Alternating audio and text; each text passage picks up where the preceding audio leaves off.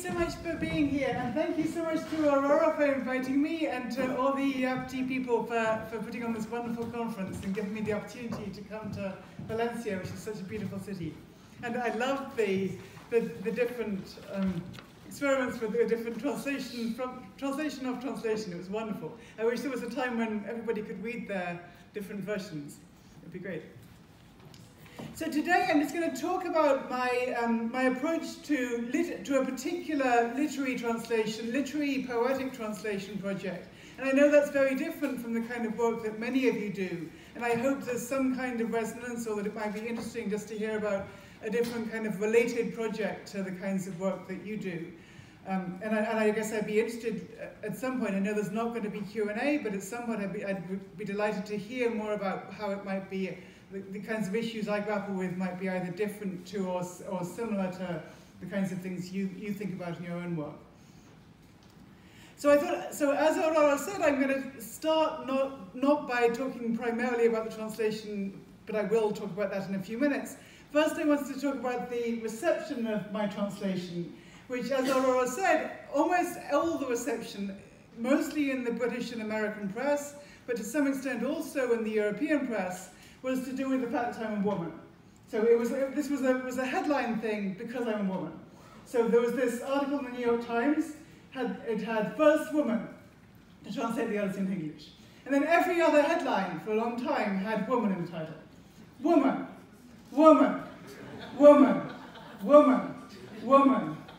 Could the Odyssey have been the work of a woman? No, it couldn't. but yet, because, and I've said several times to people who've asked that, I don't think there's any historical evidence for that whatsoever, but because I'm a woman, they want to put that in the headline.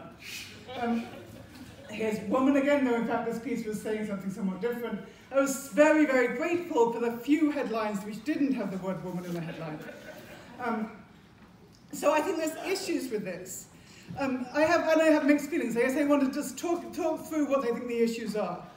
On the one hand, um, so, so I, guess one thing is just that some of these headlines were factually false. There were translations of the Odyssey into uh, many, many languages by women.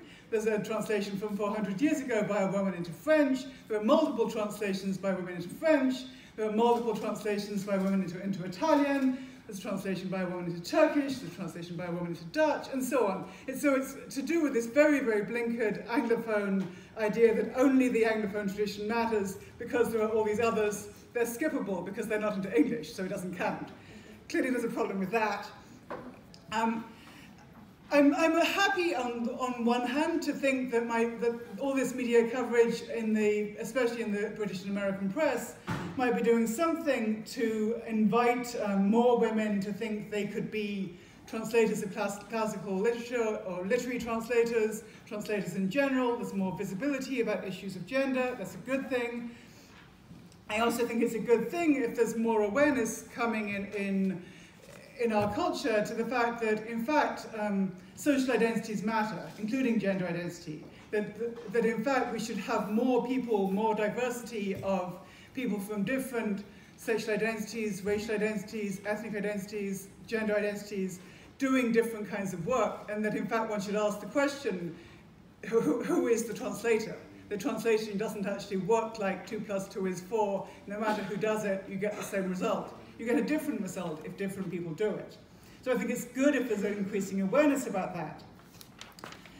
I also think that some of the more puffy kind of press coverage didn't take account of three, three facts which I just want to go through. And the first one, I think, is the most difficult one. Um, first is that I think the headline shouldn't have been um, Emily Wilson is a woman which I don't think is really a headline. The headline should really be, why is it the case that vast majority of translations of classical canonical literature into English are by men? That should be the headline, and yet of course it's not. Um, so why is that? Why, are, why is there such a male dominance in that particular field? I'm looking around the room and there's a vast female do dominance in translation and interpretation more broadly. But this particular subset of it, which is the sort of elite canonical classical literary translation is very male dominated. There's an issue with that, and I think we should talk about that issue. We shouldn't think this is just normal, and so we can, don't have to talk about it. Um, I think there, there, are there are several factors that cause that, which I'm not going to unpack right now, but I think there are several reasons one could explain from why is that male dominance within this particular field. Why is that the case?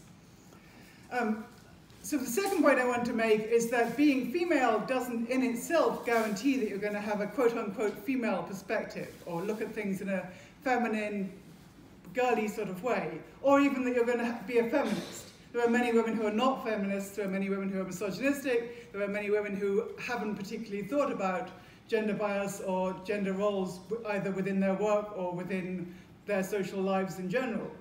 Um, so you can test this in this particular case if you look at the translations of the Odyssey by women into other languages. It doesn't seem to me that there's a particular sign that the ones by women show extra gender consciousness. I don't think that's the case at all from the ones I've read. Um, in terms of translations into English, I'm not the first woman to translate a Homeric poem into English. Caroline Alexander translated the Iliad into English um, about three years ago, so she should get, be getting lots of shout-outs about that.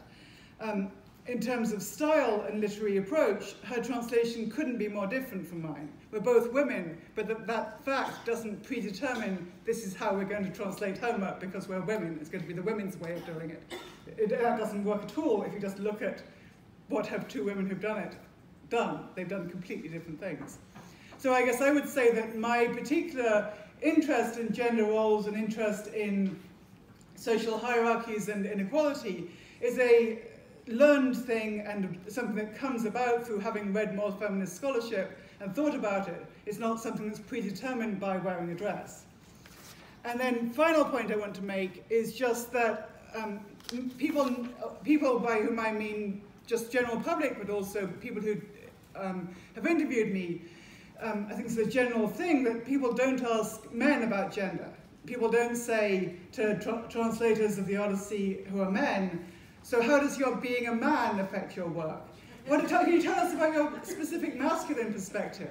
You must have a real relationship with the male characters. Can you tell us about the male characters in the poem? I, have read some interviews with other translators of the Odyssey into English, like um, Robert Fagles. Nobody ever asked him those questions. And I actually think they should have done. I think that it's not the case that men don't have a gender identity or their gender doesn't affect their work. It's just the case that we don't make that visible. And that's a problem. And we should, I think we should stop asking women those questions. Because I personally am really bored of being asked those questions. I think we should start asking men about their gender identities instead. Okay. So that was all preamble. And you, can, you can hold it in your heads and you can ask me about it at some later point. But so now I'm going to start, start talking about my approach to translating the Odyssey. So why did I do it when there were already gazillions of translations of the Odyssey out there in English into verse? This is a very selective list of verse translations. Um, in fact, there are far more than this. There are almost 70 translations, published translations, into English already. Why, why would I think the world needed yet another one? Why was it worth five years of my life to, to, to do that? I think it's a good question because, in fact, one could argue the world didn't necessarily need another one. I think it didn't need another one unless it was going to be different from the other ones that are out there. So I was asked to do this project by Pete Simon, who is an editor at Norton, with whom I've been working on the World Literature Anthology and the Western Literature Anthologies published by Norton. So I guess I think it's also interesting that the economics of how do translations, translators get hired are, somewhat different, I think, for canonical literary translators as opposed to contemporary literary translators as opposed to all of you. Um, I was excited to be asked because I've always loved this poem, uh, which I think is about questions I think about all the time in both my daily life and my scholarly intellectual life. It's about how, whether we can be the same person after 20 years, or in a new place, or with new people, about how to deal with those who aren't like us, which maybe is everybody, about home, hiding, rage, grief, recognition, imagination, growing up, a poem which turns the details, the concrete material details of everyday life, like food and clothes and moving through space and trees and boats and weapons, into these richly resonant symbols that define relationships, both between human beings and between gods and humans. But obviously loving the poem and, and wanting to keep on rereading it is a totally different thing from thinking it was worthwhile to produce another translation of it. Um, so I, I, spent some time before I signed up just looking at some other translations, and then I, I figured I do think I could do something different that is authentically engaged with the original and different from what's already out there. The first thing I, I thought about um, was to do with form. So this is the first line of the poem, and it is in dactylic hexameter. A dactyl is long, short, short. It's like a finger, so a dactyl is a finger, and that's why it's long, short, short. Andramoi, ennepe, musapon, lutropon, hosmala, polla. So it's six like that, and it's like that all the way through. It's that rhythm. Um, and yet, most of the contemporary English translations don't have any rhythm. They're mostly in free verse. These are, this is the first two lines of the oldest translation, which is by the dramatist, um, the verse dramatist George Chapman from 1615, and it's in rhyming couplets. There's also the, the famous Pope translation, also in rhyming couplets. And you can see that both of them um, interpret what's said about Odysseus in the first couple of lines as being to do with wisdom. They both have the word wisdom in it, which I think is a I think is an untenable, untenable reading of what the Greek is saying, but it's they're, they're both wonderful translations, but I don't think one can philologically defend what they're making the Greek mean. Um, so, and, and, so the Greek original is, as I, have said, it's in hexameters, so it's six beats. Many, or several English translations, a minority, but a minority of them, uh, but a small minority, but it'd be possible to translate into English, making it look like hexameters. So quite a lot of translations have a longer line than is usual in uh, English verse. Most of those are not actually hexameters, but they look like hexameters if you kind of squint and don't really read it. Um, so the one, for instance, isn't actually hexameters, but it looks a bit like hexameters. The Merrill one is hexameters, and it's kind of virtuosic in actually being hexameters. I personally didn't want to do that because there's no native tradition of Anglophone long epic verse in English. So I wanted to use a, a, a native verse form. The much more common thing is to use free verse, which, which doesn't scan at all. It doesn't have a regular rhythm. Then that's the way that the most famous translations that people usually read do it. You can see that that's the case for the Robert Fitzgerald, the Robert Fagles, the Stanley Lombardo. You can also see, if you, if you can read the text, that these three translations, which are the most common ones that people read, um, are also very similar to each other, not just in terms of form, they're, both, they're all free verse, but also just verbally. If you look at the first few lines, we have the wanderer in Fitzgerald. And then we have in Lombardo, the wanderer. We have plundered, and then we have plundered, and then we have plundered. We have time and again in the Fagles, and then we have time and again, again in the Lombardo. So I think that's also a clue to the fact that they were all looking at each other. And they're not, even though there were dozens of these translations, they're not as different as you would hope, which I think is a bad thing. I think we actually need real diversity. So I chose, after I'd done my sort of survey of looking at other translations, I chose not to look at others while I was doing mine. So I chose to use iambic pentameter, which is the native English tradition, and it goes da-dum, da-dum, da-dum, da-dum, da-dum, and it goes like that all the way through. Um, and I also chose, because quite a lot of the English translations are very expansive, and in general there's a tendency for translators to be longer than the original, right? Because the, you always have a doubt, can I use this word, this word, this word? So let me just plunk down three words because you know, I can't quite decide. So I chose not to do that. I mean, I chose to, to limit the capacity to do that by making my version the same number of lines as the original, because I thought the rapidity of the original was so important. I wanted to convey something of the musicality, the clarity, the vividness, and the emotional range of Homer, which I felt wasn't fully being conveyed in other versions that I looked at. Um, so it seems to me that we just need to think about what is faithfulness. What is it to be to provide an accurate or faithful rendition of an original text? It seemed to me that it has to do with how does the original read, how does the original feel, how does it make you feel. It has to do with literary form, poetic form, if you're doing a literary translation. Um, it also has to do with style.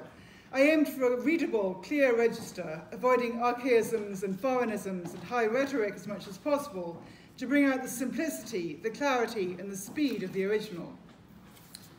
Um, within classics in particular, badly written translations are often highly valued because they replicate the experience of the struggling student in intermediate Greek class.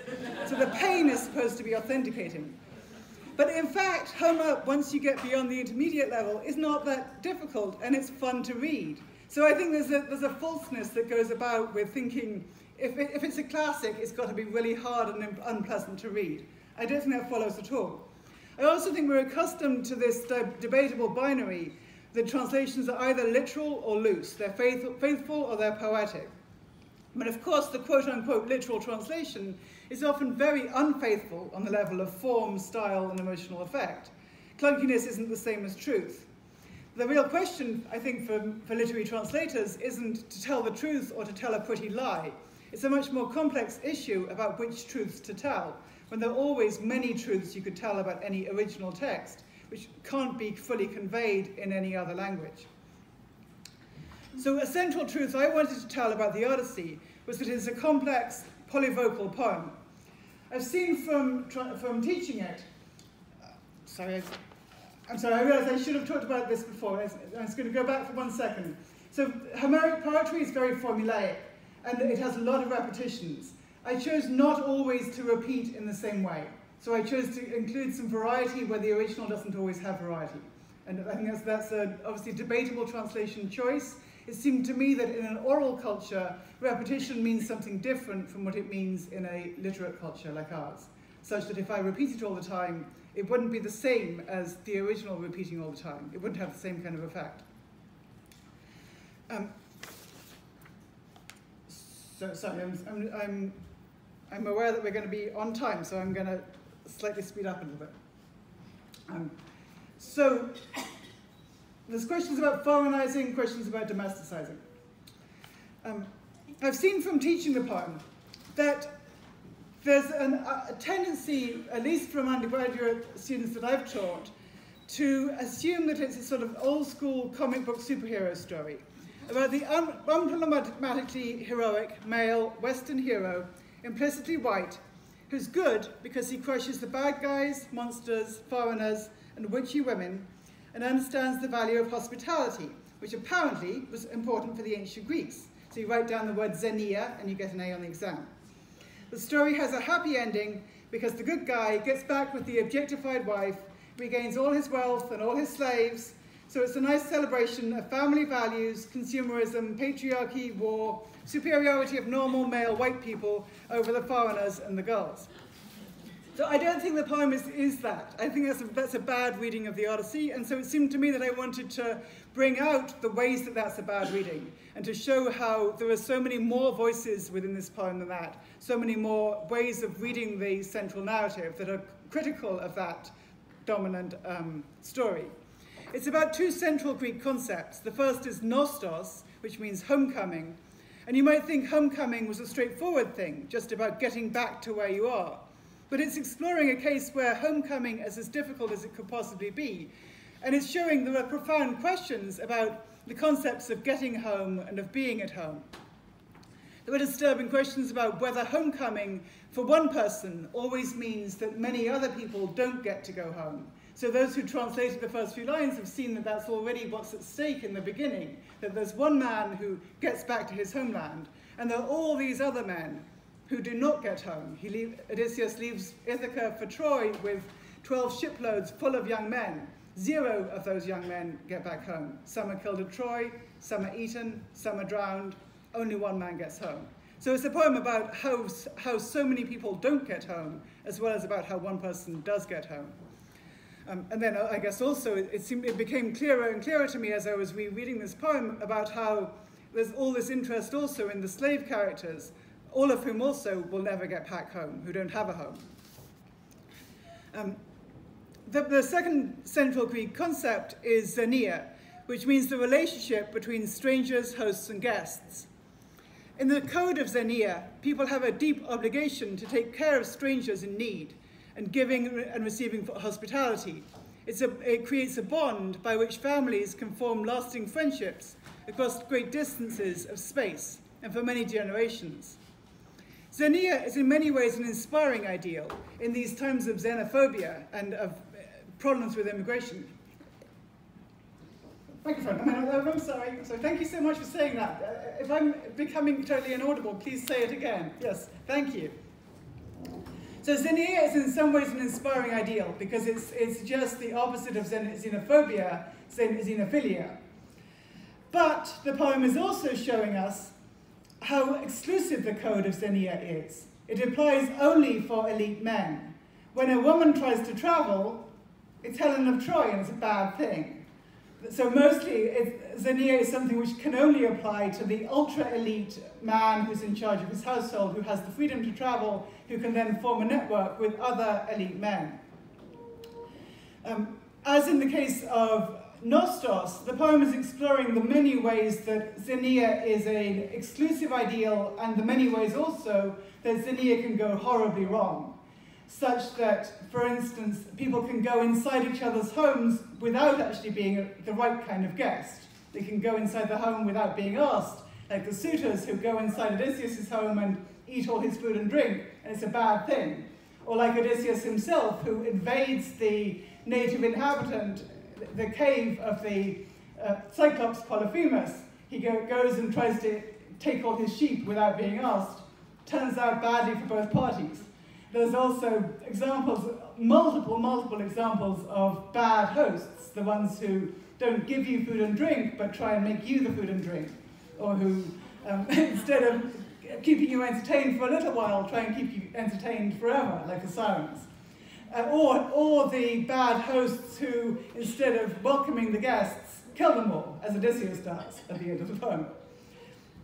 So it seems to me that the, the original poem is compelling precisely because of how deeply it lets us inside the perspectives of so many different characters.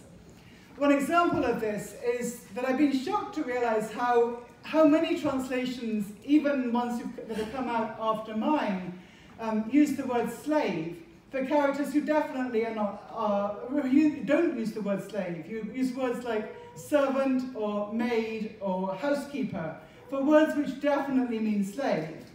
And I think that, that tendency to, I think it's definitely a mistranslation, um, is, is in the service of trying to create a heroic narrative, and a simple heroic narrative. If Odysseus is a slave owner, that makes you feel bad about Odysseus. You, you have an uncomfortable feeling, because being a slave owner in our culture is not imagined to be a good thing. Um, but the, the poem is definitely interested in differences of social rank and if interested in the perspective of the slaves as well as in the perspectives of their owners and the perspectives of the gods who are above even their owners. Okay, so this is my beginning, which I know that several of you have done interesting different translations of. Um, and so I just wanted to read it and emphasize that part of what I'm trying to do, as I've suggested, is bringing out the different perspectives as well as having a clear meter. Tell me about a complicated man. Muse, tell me how he wandered and was lost when he had wrecked the holy town of Troy, and where he went and who he met, the pain he suffered on the sea, and how he worked to save his life and bring his men back home. He failed, and for their own mistakes they died. They ate the sun god's cattle, and the god kept them from home. Now, goddess, child of Zeus, tell the old story for our modern times. So I won't say everything I tried to do there, but I think you can see that I'm trying to bring out how there's multiple different perspectives going on, that, where, that Odysseus is defined at the start as somebody who's wrecked a holy city, and that there's this complexity about whether he's a passive victim of what happens to him, or is he the agent? Is he the one who deliberately wrecked a holy city, who deliberately fails in his responsibilities as a leader, or is he the victim of the gods, who's just swept off course all the time? And I think both those things are there in the text. One, one shouldn't try and say there's just one element, he's just the good guy, or he's just the bad guy. Both of those things have to be there at the same time. So now I'm going to turn to a fairly harrowing passage late in the poem, just to talk about how I think it matters whether translators do or don't bring out multiple different perspectives in the text. For those who haven't read the Odyssey, I'm sorry for the spoilers. So Odysseus, um, does in fact eventually get back home. He leaves the goddess Calypso and goes through many shipwrecks, and all his men are drowned, gets back to Ithaca, he's disguised as a beggar by Athena, and he finally manages, with the help of the goddess, as well as his son Telemachus and a couple of slaves, to kill all the suitors who've been besieging, harassing Penelope for all these years. Then Odysseus instructs Telemachus and the others to take the slave women who slept with the suitors outside and hack all the life out of them with long swords. Telemachus, who has been a pretty dopey kid up to this point, then shows uncharacteristic initiative, contradicts his big shot father, and insists that instead they must be murdered by hanging because they're too metaphorically dirty for him to touch with his sword. So clearly there's some creepy psychosexual stuff going on in this very disturbing passage. This is the Greek, and what I want to flag in the Greek is just that, is I'm not, not thinking that most of you read Homeric Greek, maybe some of you do. I just want to flag the fact that there's no term of abuse of the women in what Telemachus says here. Um, and I also want to, want to flag a few choices that different translators into English of this passage make to show how they can work together to shape the perspective on the narrative because I think the crucial question is, is this terrible murder presented as okay by the text? And how the translator operates can, can make a huge difference to whether or not you feel, feel like it's justified or not justified. Okay, so one, one question is, what is this killer like? The Greek says that he's telemachos pepnumenos, which is his standard epithet. It has something to do with he's taken some kind of thought. Has he taken a good kind of thought? That's not clear. Um, calling him thoughtful or stern or cool-headed or sagacious, I think those things suggest he's taken some really good thought. He's thought about this, it's the right thing to do. I don't think it's necessarily the case to, to deduce that from the Greek. Then, are the victims human, and does Telemachus think that they definitely deserved it? Have they done something such that this is a punishment? Um, in Lattimore, they're called these creatures which doesn't correspond to anything in the Greek, but they're dehumanized. In the Fitzgerald, um, Telemachus says, I wouldn't give the clean de death of a beast to trolls, you sluts. Again, doesn't correspond to anything. You sluts, the suitor's whores, suitor's sluts, and then in the green, translation, there's an extensive footnote on the mechanics of how exactly would you get to kill 12 women with just one rope. You think it would be quite difficult. Let me help you out there with. How, what, what would the rope have to be like to, get, to achieve that wonderful goal? So uh, there's questions about both the footnoting and how much does the footnoting suggest that the real question here is to do with that kind of mechanics. But there's also questions specifically about the translation. Does the translation suggest Telemachus thinks he's punishing them for, for having done something bad. I personally don't think he's punishing them for having done something bad. I think he's killing them because they make him feel ashamed, which is a very different kind of psychological thing. Another question is about the simile. So there's a great simile comparing these women who are being hanged to birds that are flying into a net. They don't realize they're flying into a net, but there's a net in the bushes and it catches them and it's like the rope that's put, being put around the women's necks um, the different ways that translators deal with the simile can work either to dehumanize them, to suggest the women are just birds, so it's like wringing the neck of a chicken, and it's fine. Or I, the way I read it is very different. I, I think that the simile works to suggest that we can see their perspective. We can see their perspective in the way that we can see the perspective of the birds. We know the birds are trying to get home. Nostos is something which is utterly valorized in this poem. It's a poem which is all about a homecoming. These birds wanted a homecoming, the women wanted a homecoming, they get this horrible thing instead. So it's showing us that there's, there's this totally legitimate thing they wanted that they didn't get, which is very different from saying simile works to dehumanize. So I think the choices the translators make about the simile matter, and if you use um, trivializing language like cozy, grizzly, it doesn't suggest that they matter. Um, I also think that describing the death as most pitiful um, suggests that there is the possibility of pitying these people, but it's somewhere far away. Somebody else might pity them, but I don't have to, because it's just that I've noticed that that is a potentially pitiful thing.